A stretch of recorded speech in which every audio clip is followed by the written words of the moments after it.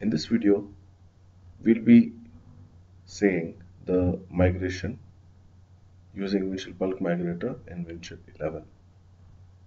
For this demo, we have a product container called cameras with set of folders in it like the clients, deliverable, handling unit and invoices.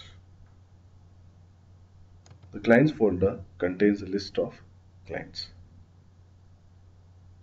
Let's start the loading of a client object which is a custom Windchill object. For this demo, we have considered a data set which is seen in this CSV file where we see five set of users. As a process, we upload or import this data into the Windchill Bulk Migrator staging schema which has already been done and we see all the five set of users in the staging table called client.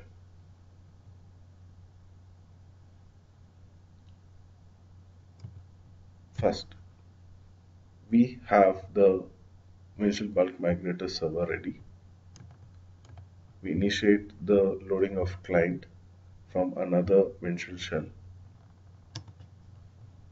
and monitor the loading process from the method server.